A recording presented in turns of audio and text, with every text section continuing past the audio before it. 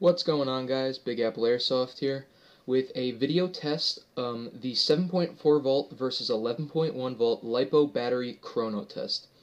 Now before we start, each battery is 1000 mAh.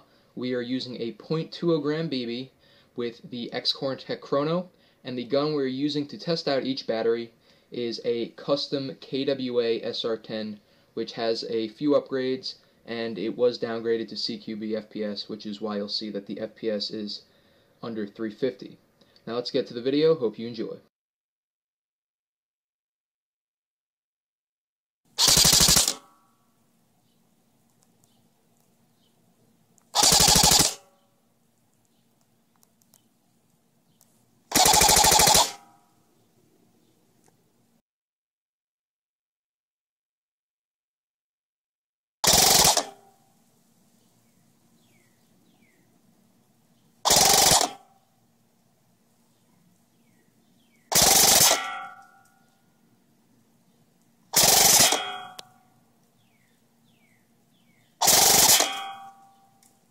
Alright guys, that concludes the test of the 11.1 volt versus 7.4 volt LiPo battery.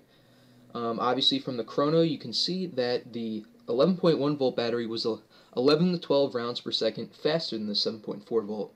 Um, obviously that is a huge increase and is a definite benefit when you're on the field, especially in full auto situations.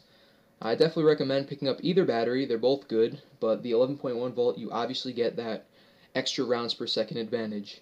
Uh, this is Big Apple Airsoft here. Hope you enjoyed the video. Subscribe if you're new, and see you guys later. Signing off.